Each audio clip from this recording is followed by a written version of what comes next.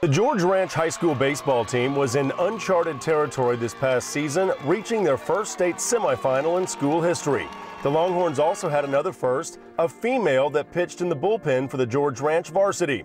Now, if you're thinking this is some kind of publicity stunt, think again. Hudek is a left-handed pitcher who has topped 80 miles per hour on the radar gun.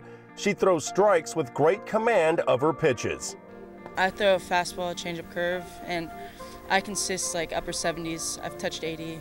Like I just stay consistent around there. I just use try to I mix up pitches to off balance the hitters. I know I'm not going to overpower a hitter, so I have to take advantage of having precision of the plate and being able to move the ball in and out, back and forward, keeping them off balance.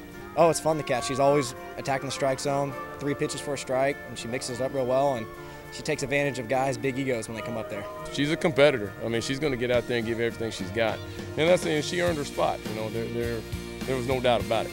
Sarah earned her spot on varsity this past year, so how did that sit with her male teammates, you ask? Well, let's just say you earn respect on the field, and most of these guys have been playing baseball with her for years. She's just like another player. She's fun to be around. I've known her for a long time since I was in Little League. She was on JV with me last year. She's been on the same team with me throughout all high school and one of my good friends. And, I don't know, she's just like one of us. Not, nothing's different, you know, so she blends right in with all of us. We've played with her since we were seven years old, so it's really something we've just had our whole lives. She's another one of the guys out there, basically. They're just really accepting of it, and I'm just happy that people are just so accepting of it because if it was just, if I was around people that were negative about it, it just wouldn't, the experience wouldn't be as fun at all. Now, if the name Hudek sounds familiar, it should. Sarah's father is John Hudek, who pitched six years in the big leagues, including three with the Astros in the mid 90s, where he reached the Major League All Star game. His 17 year old daughter has big aspirations to pitch at the next level. Just very grateful just to have someone that has so much baseball knowledge, to have that in the same home as me, and just be able to ask him questions about anything like it's on my mind. Just pick his brain, just take advantage of the opportunity of having a, a ex pro player living in the same home as you just be able to talk to him after the game about how like what I did on like mechanical wise and just what to work on. Like go back and look at tape to see what I need to work on to get better. Sarah struck out 11 batters in 11 innings of work in 2014 with an ERA of 2.25. Hudek pitched in a regional quarterfinal playoff matchup against Goose Creek Memorial with the game in the balance. She retired all five batters she faced to earn the save in an extra innings victory and was greeted by the fans with chants of Sarah. Sarah, Sarah.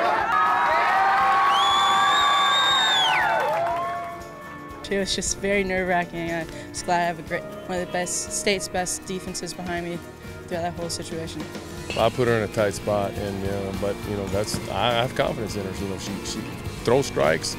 Last year, Sarah Hudek was on the junior varsity. This year, she's in the bullpen as a relief pitcher for the varsity squad. But next year, plans to have even more of an impact on this team because there's quite a few seniors leaving George Ranch. Having the seniors, their experience, just be able to ask them questions about scenarios and stuff like that.